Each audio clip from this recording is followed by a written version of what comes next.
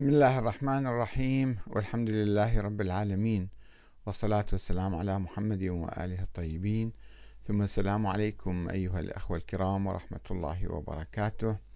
نواصل في هذه الحلقة وهي الثالثة نقد العقل الإمامي الشيعي الإمامي الاثني عشري ونأخذ آه، الشيخ جواد التبريزي نموذجا. وسوف نتحدث في هذه الحلقة عن الولاية التكوينية. ونعتمد في ذلك على كتاب للشيخ التبريزي بعنوان الأنوار الإلهية في المسائل العقائدية. آه، دار الصديقة الشهيدة لجنة أم البنين الخيرية في الكويت الطبعة الرابعة 1425 وكما تعرفون الشيخ جواد التبريزي هو تلميذ السيد الخوئي. وهو يعني كان يعتبر من مراجع قم الكبار وأستاذ لعدد من المراجع الآخرين وقد توفي قبل أكثر من عشر سنوات. آه، ولكن كتابه وفكره هو يمثل نموذج في الحقيقة لفكر الغلاة المعاصرين والأخباريين المتطرفين. نتحدث هنا تحدثنا في الحلقة الماضية عن تأويل القرآن و اعتبار أن أن النبي وذريته يعني والأئمة هم علة خلق الكون وغايته. آه الآن نشوف ماذا ترتب على هذه الفكرة. آه أقدمية الرسول على الخلق. وما دام أن الرسول صلى الله عليه وآله هم وآله هم علة الخلق وغايته كما يقول الشيخ جواد التبريزي. فهل هم كانوا مخلوقين قبل آدم؟ وهل كان لهم دور في خلق العالم؟ يجيب الشيخ التبريزي قائلا ورد في بعض النصوص ومنها معتبر. يعني النصوص مو كلها معتبرة ومنها معتبر. الاعتبار شنو مصطلح الاعتبار؟ ماذا يعني به؟ لا يوضح لنا ذلك. ورد في بعض النصوص أحاديث أخبار يعني. أن النبي وآله المعصومين ومنهم الزهراء كانوا موجودين بأشباههم النورية قبل خلق آدم وخلقتهم المادية متأخرة عن خلق آدم كما هو واضح. هذا في صفحة 148 من كتابه الأنوار الإلهية. ويؤكد مرة أخرى هذه الفكرة المغالية معتمدا على بعض الأحاديث الضعيفة المختلقة الجاية بدون تحقيق.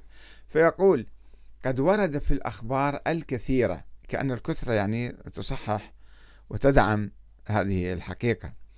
قد ورد في الأخبار الكثيرة أن الله خلق نور فاطمة من نوره قبل خلق آدم.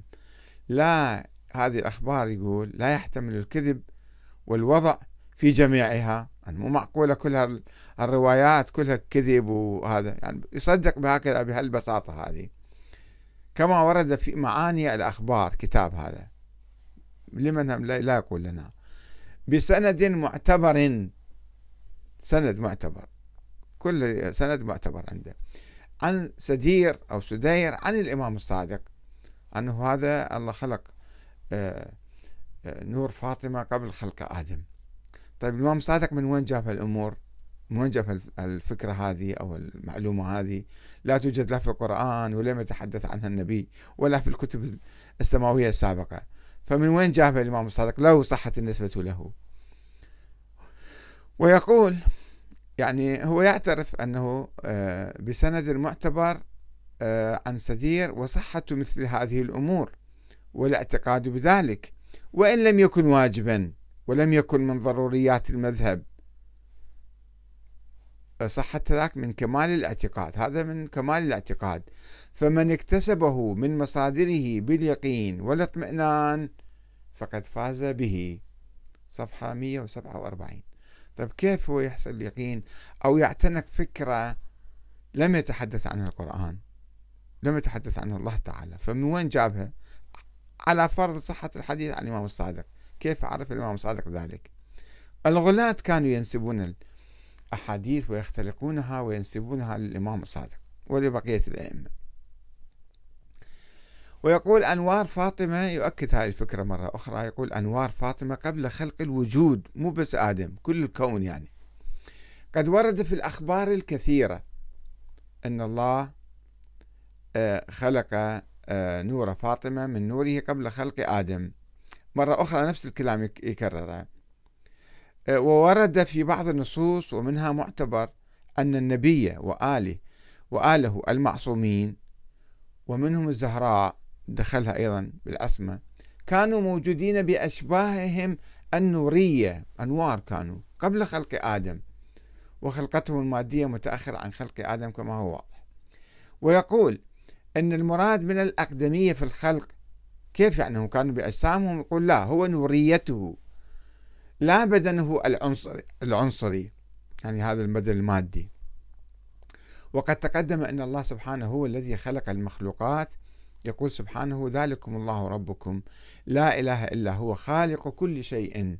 فاعبدوه وهو على كل شيء وكيل. يتوقف عند كلمة وكيل. يقول الوكالة لا تمنع الاستنابة في الخلق. يعني هو يعطي وكالة واحد ثاني. وهذا ظاهر آيات كثيرة لا مجال لذكرها. صفحة 131 من كتابه الأنوار الإلهية.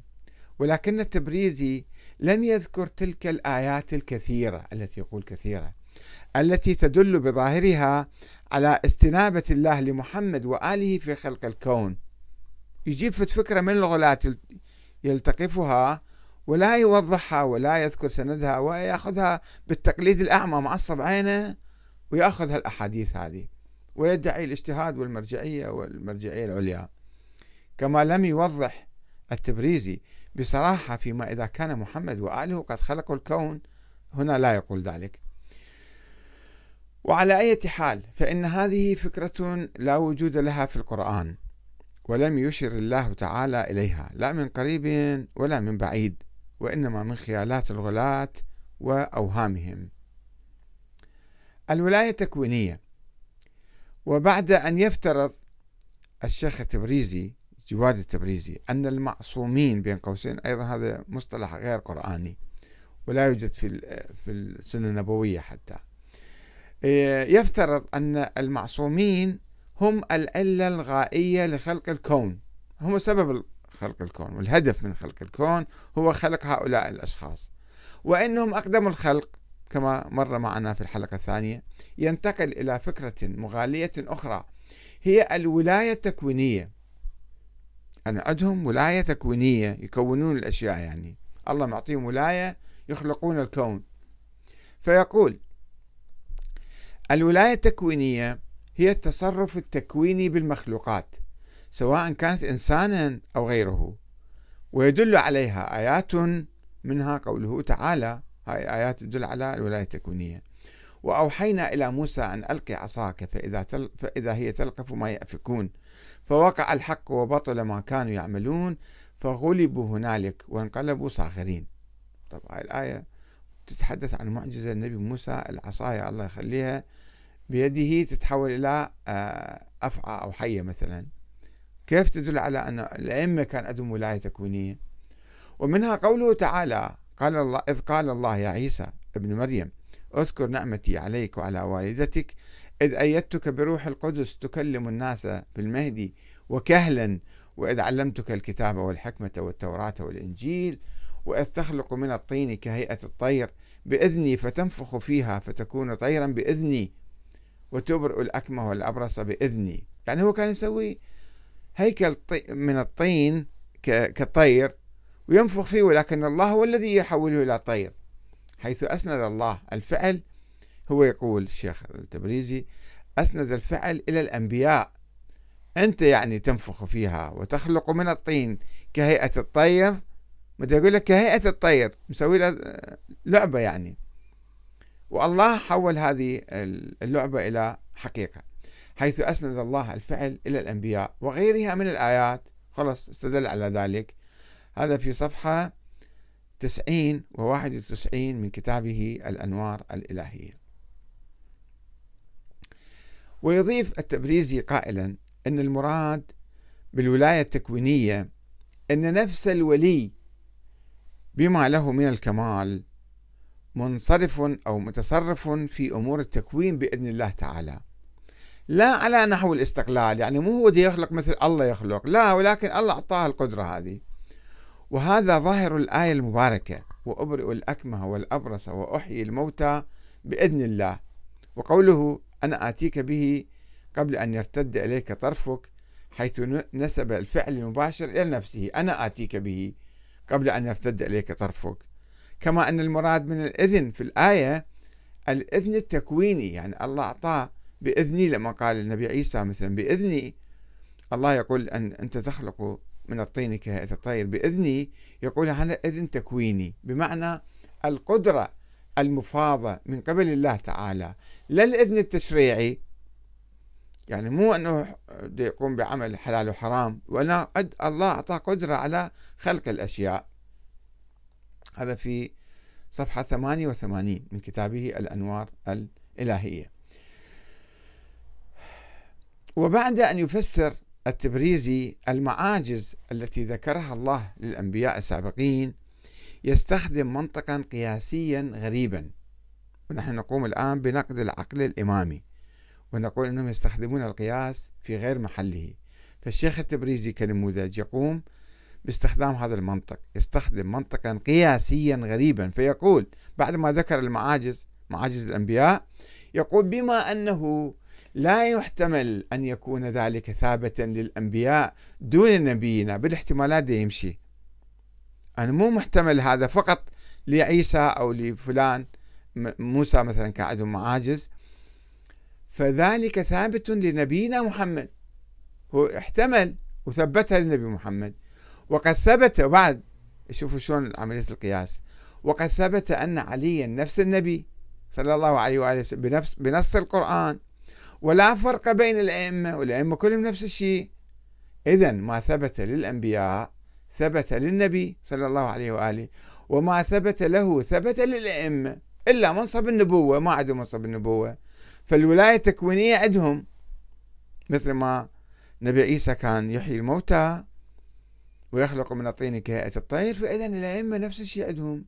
عندهم هالقدرة هذه رغم أنهم مو أنبياء هم. ويواصل الشيخ التبريزي فيقول نعم الفرق بين الأنبياء والأئمة أن الأنبياء كانوا يفعلون ذلك لإثبات نبوتهم بالمعجزة. يثبتون أنهم أنبياء بهاي المعاجز. وأما الأئمة فكانوا لا يفعلون ذلك إلا في موارد نادرة. وهاي الموارد نادرة ما حد ما يعرفها. أصلا ما فعلوا ولا ولم ينقل عنهم أي شيء من القبيل صحيح وثابت يعني. عندهم ولاية تكوينية بس ما فعلوها. هو يقول إلا في موارد نادرة. كما ورد في الأخبار أنه كانوا يسوون هالشيء هذا الأئمة. يا أخبار يا مثلا سند الأخبار قيمة الأخبار هذه خلص أخبار وامشي واطلع قبل كما يقول العراقيون. فكيف يظن شخص يواصل هذا الشيخ التبريزي يقول فكيف يظن شخص يلتزم بإمامتهم وأنهم عدل للنبي صلى الله عليه وسلم إلا في منصب النبوة؟ هم نفس الشيء مثل النبي يعني. كيف يظن شخص هكذا يعني أنه لا يلتزم أو لا يلزم الاعتقاد بالولاية التكوينية لهم؟ لفها لفها لفها وجابها إلى ولاية تكوينية وللأئمة كلهم. مع أن الحكمة الإلهية اقتضت أن تكون الولاية التكوينية بأيديهم. يعرف الحكمة الإلهية تقتضي ذلك. حتى يتمكنوا من إبطال من يدعي النبوة بعد النبي بالسحر ونحو ذلك. مما يوجب إضلال الناس. طيب وين عملوا هذا الشيء؟ متى عملوا كيف؟ من أين جئت بهذه الحكمة الإلهية؟ هذا في صفحة 91 يقول هذا الكلام. ويقول الشيخ التبريزي جواد التبريزي المسلم عندنا أنهم يعني الأئمة وسائط بين الله تعالى وبين خلقه. هم وسائط. ولا نعرف تفصيل ذلك. شلون هم صاروا وسائط؟ يقول ما نعرف. يعني هنا أنا شوية منصف صاير. وما نعلمه أنهم مأذونون من قبله تعالى في التصرف بالكون. إذا اقتضت المصلحة ذلك. كلها أوهام في أوهام.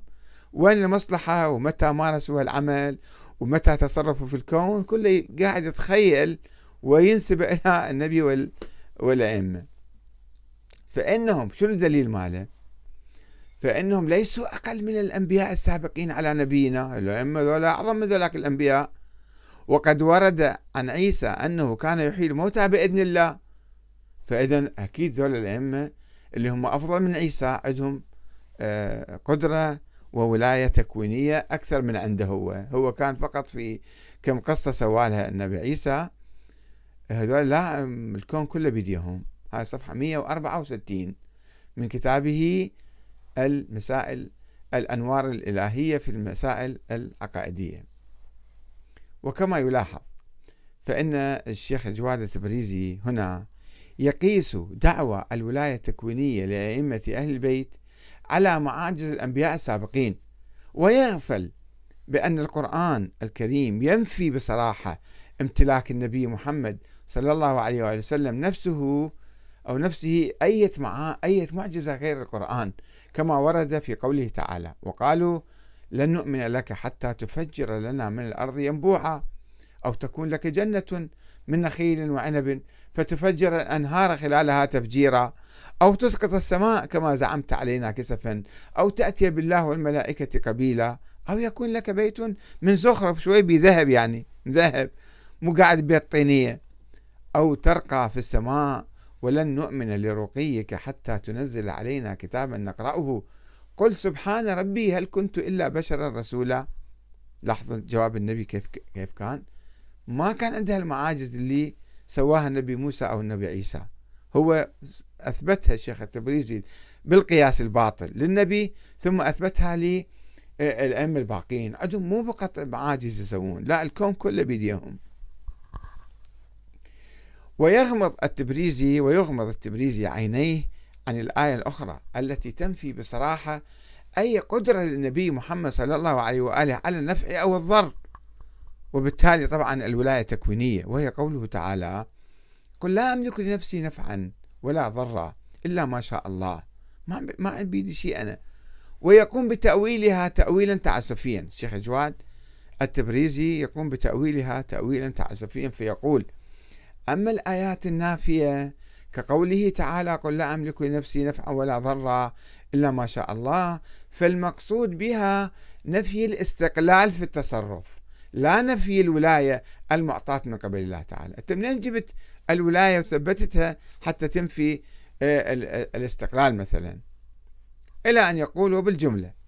فالولاية التكوينية بالمعنى الذي ذكرناه من العقائد الواضحة التي لا مجال للتشكيك فيها. بس أدمن عند المتدبر في الآيات لحالات الأنبياء والأئمة أجمعين في الأحاديث والأخبار واردة عنهم ولهم في الأحاديث والأخبار. ما هي الأحاديث؟ ما هي الأخبار؟ لا تسألوا الشيخ التبريزي عن ذلك.